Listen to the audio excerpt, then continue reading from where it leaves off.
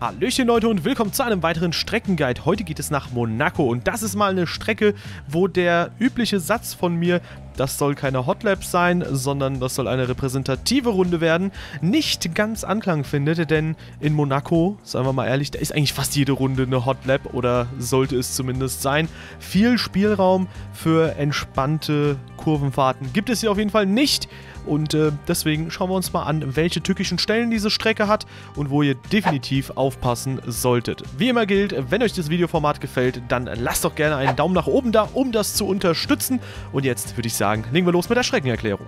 Wie immer gilt aus der letzten Kurve ausreichend Schwung mitzunehmen auf die Startzielgerade, die auch gleichzeitig die einzige DRS-Zone der Strecke ist dann geht es schon auf Kurve 1 zu und da muss man sich überlegen, wie man anbremsen sollte. Zuallererst sei gesagt, im Rennen müsst ihr aufpassen, dass ihr die gelbe Linie hier nicht überschreitet, dass ihr auf der linken Seite bleibt, denn bei der Boxenausfahrt, da können euch einige Fahrzeuge sonst ziemlich gefährlich nahe kommen und ihr könntet kollidieren. Wenn allerdings keine Autos rauskommen, dann könnt ihr ruhig so weit innen anfahren, wie ich es hier tue. Kurz vor der Brücke solltet ihr dann anfangen, für die erste Kurve abzubremsen und dabei könnt ihr auch euch ein bisschen nach links links reinbremsen. Also ihr nehmt quasi einen ziemlich geraden Bremsweg, da ihr relativ weit innen anfahrt und bremst euch somit nach außen. Und damit habt ihr eine sehr geringe Wahrscheinlichkeit, dass eure Reifen blockieren. Das kann natürlich immer noch passieren, aber wie gesagt, die Wahrscheinlichkeit ist halt geringer. Dann lenkt ihr etwa dann ein, wenn die Strecke sich wieder ein wenig öffnet, denn die linke Leitplanke zieht erst ein bisschen zu und macht dann wieder auf. Ihr fahrt rechts über den Curb, ihr könnt den auch ruhig ein bisschen härter tatsächlich mitnehmen. Das wird auch vom Spiel leider, leider nicht geahndet. Und dann beschleunigt ihr ab dem Kurvenscheitel wieder raus und jetzt folgt eine lange geradeauspassage, wo ihr entsprechend auch mal kurz durchschnaufen könnt. In die nachfolgende Linkskurve könnt ihr viel Geschwindigkeit mitnehmen. Das heißt, ihr lasst euch in die Kurve reintragen, nehmt das Gas weg und lasst euch quasi durch die Kurve durchtragen. Nachdem ihr dann den ersten Kurvenscheitel erwischt habt, fahrt ihr oder trägt euch die Strecke automatisch schon nach außen und dann könnt ihr auch ein bisschen beschleunigen, damit ihr vor der Rechtskurve, vor der Casino-Kurve entsprechend wieder nach links außen kommt. Da könnt ihr noch ein bisschen, wenn ihr zusätzlich beschleunigt, Geschwindigkeit aufbauen und dann geht ihr natürlich vom Gas, damit ihr die Rechtskurve möglichst gut erwischt und ihr müsst unglaublich früh, also gefühlt viel zu früh einlenken, damit ihr auch rechts den Kurvenscheitel erwischt. Und da könnt ihr auch ruhig den Körb auslassen, sondern nur an diesen heranfahren.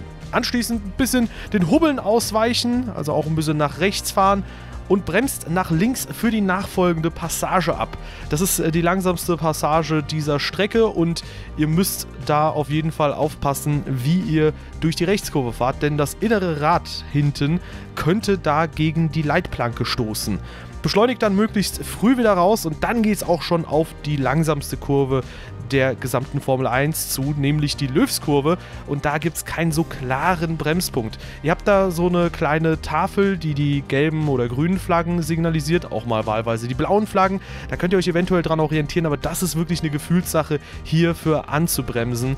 Und ähm, da muss man, glaube ich, schon so ein bisschen Praxis haben. Allgemein empfiehlt es sich für Monaco, viele, viele Runden zu drehen im Training, damit man wirklich eine gute Kontinuität in die Rundenzeiten und in das allgemeine Fahrgefühl bekommt.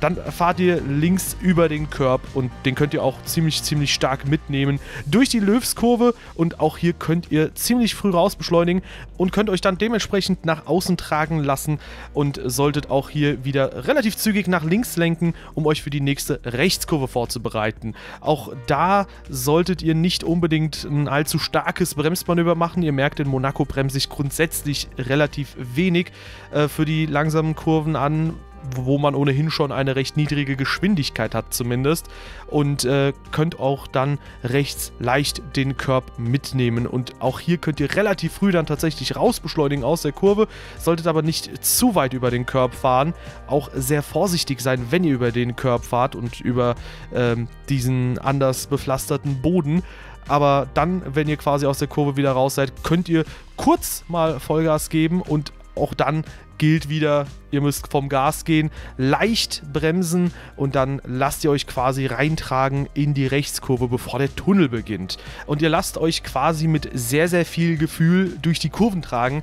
Äh, ihr merkt, dass man da relativ viel Feingefühl braucht, um entsprechend äh, zumindest möglichst sanft über die Strecke zu kommen. Im Tunnel könnt ihr wieder einen Moment durchschnaufen, ehe es dann auf die nächste Schikane zugeht. Dort könnt ihr just nach dem 100-Meter-Schild abbremsen für die nachfolgende Kurve und solltet erneut hier links aufpassen, dass ihr nicht mit dem hinteren inneren Rad an der Leitplanke hängen bleibt, denn das kann euch ganz gerne mal rausdrehen.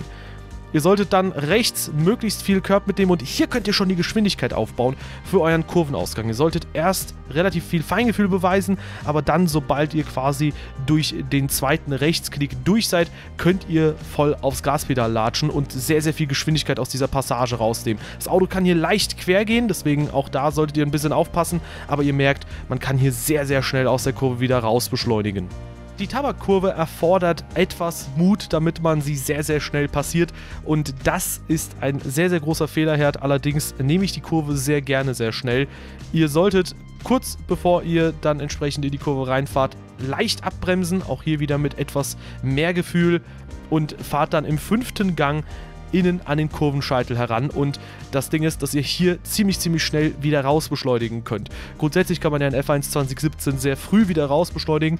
Hier hat das zusätzlich das Risiko, dass ihr außen eben an die Leitplanke herankommen könnt und im schlimmsten Fall holt ihr euch einen Schaden am Fahrzeug ab.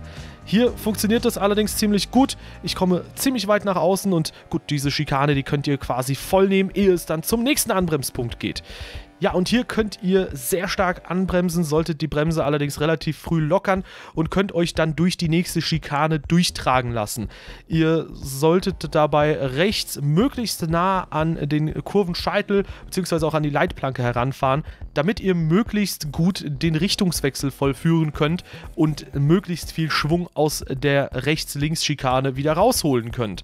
Und da seht ihr jetzt, dass wir links sogar ziemlich hart über den Körb fahren können. Das Gas solltet ihr da allerdings relativ feinfühlig sortieren, denn wenn ihr hier zu schnell seid, landet ihr auch hier wieder in der Leitplanke. Beim Anbremsen für Raskas muss man dann auch sehr vorsichtig sein, denn hier müsst ihr zwangsweise auch eine leichte Kurve fahren beim Anbremsen.